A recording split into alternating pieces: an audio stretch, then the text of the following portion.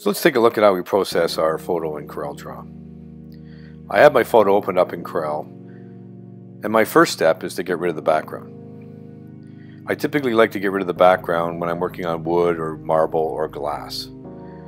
A background in a photograph tends to take the focus away from the individuals or images that we want to basically isolate with our photo. In this case, I've got a black background with the balance beam in the back and I want to get rid of those. Typically, I get rid of any background in PhotoPaint and that's easy to transfer image from CorelDRAW to PhotoPaint to make the necessary changes. To do so, I need to come over to my photograph, right click on it and say Edit Bitmap. By editing the bitmap, it actually opens up in PhotoPaint and allows me now to be able to cut away the background. To do this, I'm going to go up to Image and select Cutout Lab. Now what I want to do is I want to have a nib size. In this case, the nib size is the circle that's on the screen, and it's a pretty good size. Uh, notice here that it's set to 100. Uh, if I want, if I go to say 125, I'll get a little bit bigger nib size. And what I'm going to do is I'm going to draw my line here halfway on the photo part that I want to keep and half off of what I want to get rid of. And we're going to go all the way around. So basically what the, the, this tool is doing is it's basically going to take a look at this photograph and it's going to sample the photograph and it's going to keep whatever falls on the inside of the photo, what I've highlighted, and it's going to get rid of what's on the outside of the line here. So I'm just going to typically go along halfway on. I'm across. I'm done. Now, CorelDRAW needs to know what part of the photo I want to keep, and I do that by going to the Fill tool. And I can either select the outside or the inside. In the case, this case, I want to keep the inside, so I'm going to click inside. And the area that's filled tells the photograph, tells the software that this is the part of the photograph that I want to keep. So we're going to go to Preview,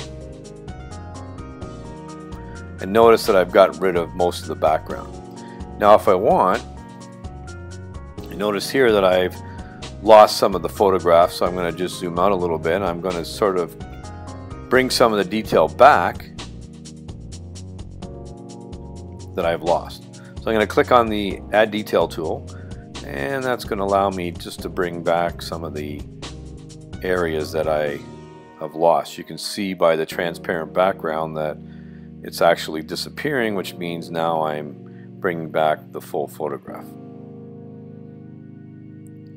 And you can see I've lost a little bit of her hair here.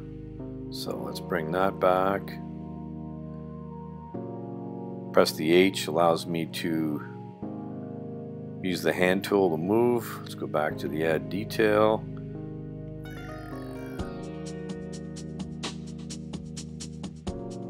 See I'm bringing back the detail of her body. Notice here I want to get rid of this area here, so again I'm going to select this subtract detail and this allows me now to get rid of some of the issues that may happen here. And I can add back the detail that came out.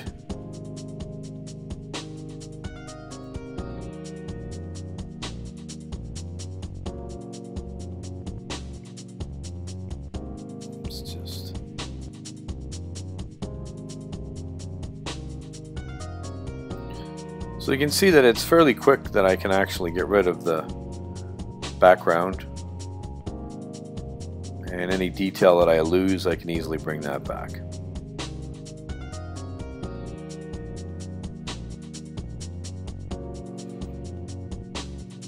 Let's get rid of the bottom of this chair here. That. The H tool. Down to her feet here and we want to keep this detail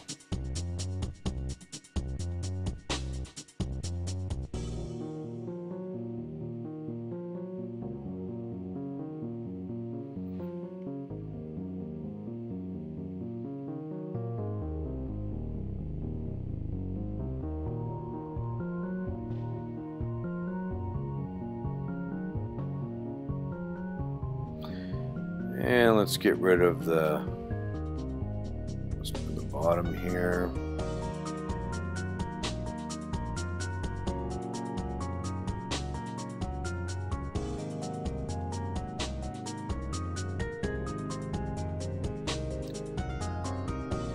lost a little bit of the toe here. Let's bring that back. Yeah, we'll move around. There's a little bit more that we've lost. So you can see it's a, it takes a little bit of time to sort of get the edges of the photograph brought back to the way they're supposed to be. That doesn't take that long. And the rewards are going to be a lot better because now we've gotten rid of that black background, which we really don't want to have because really I have to invert the image. Because I have to invert the image, I want a nice transparent background.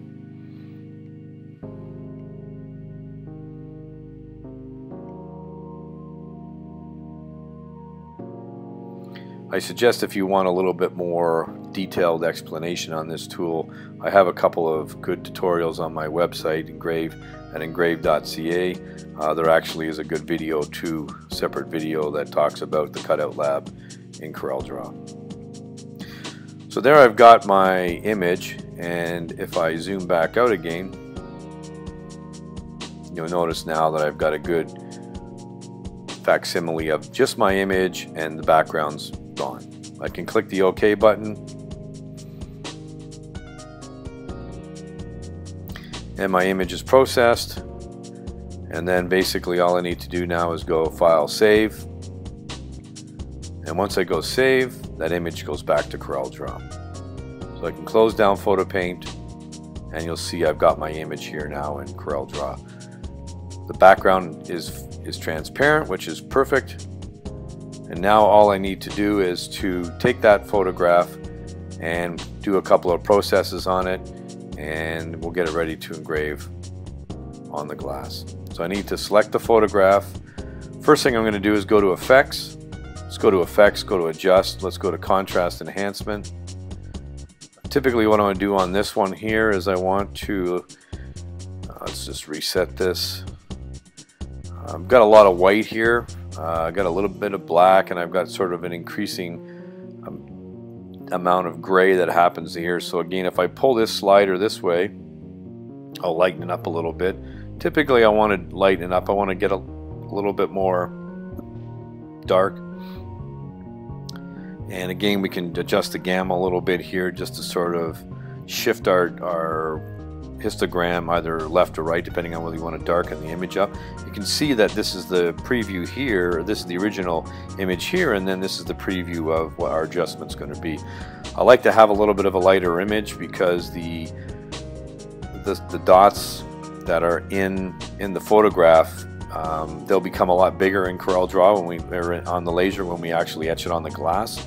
So I want to sort of generate a little bit more white versus dark uh, areas be between uh, in my image. This tricks my eye into seeing more detail. So all I need to do now is say OK. Let's just bring that up so you can see OK.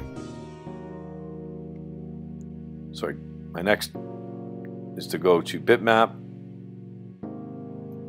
down to sharpen, unsharp mask, so you can see I've got my image. On the right here, on my left is my original image, on my right is my previewed image.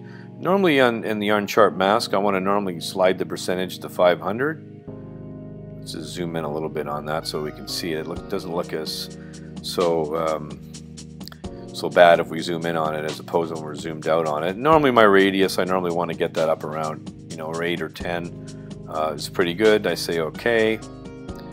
My next step then is to go to my effects, go to transform. I'm going to invert the colors because I want to I want to sort of do this photograph in a negative, uh, not a positive. So a negative image is the way you want to do it on glass. My next step then is just to go to mode, convert to black and white. I'm going to use either Jarvis Stucki or Floyd Steinberg say OK. There's my image there. And then basically all I need to do now is just send it over to the laser machine. So that's basically all I have to do when I'm converting my image in CorelDRAW to make it ready to laser engrave.